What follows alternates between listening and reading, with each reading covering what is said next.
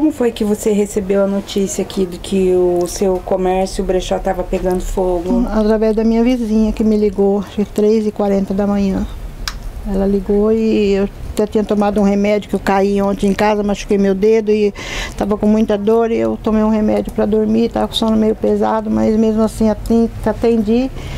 E aí ela falou que estava pegando fogo, levantei do jeito que eu estava e, e vim, vim para cá. Cheguei aqui, estava um desespero. Não deu para você fazer mais nada? Mais nada. Eu até tentei querer entrar pela outra porta lateral para tentar salvar pelo menos algum documento, mas os vizinhos não deixou. Falou, vai vir aquela chama, né, e perigoso. Então os, os, bombeiros, os bombeiros ainda não tinham chegado.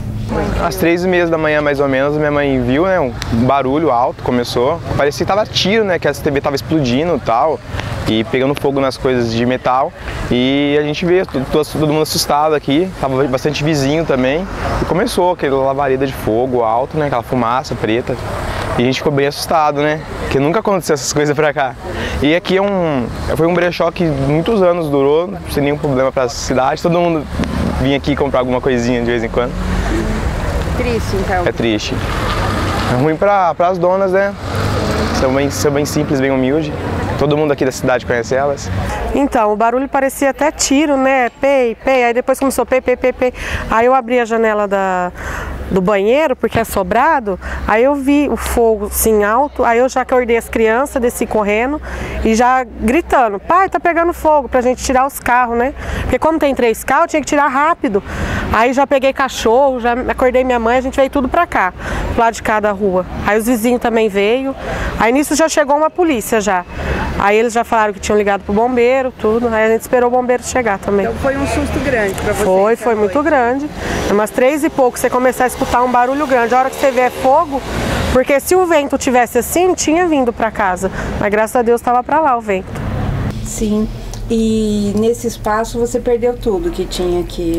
É, aqui na realidade são cinco salões diferentes, né? Então, assim, uma parte é móveis, né? E outra parte aqui onde é a roupa, praticamente foi tudo, só ficou uma, um salão que tem uma parte de alguma roupa de homem, que era de mulher, perdeu tudo. E o carro também que estava lá dentro, que é o carro que a gente usava para trabalhar, também perdeu.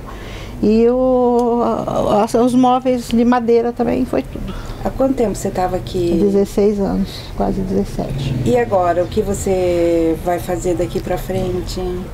Levantar a cabeça e começar de novo. Você já tem ideia do seu prejuízo?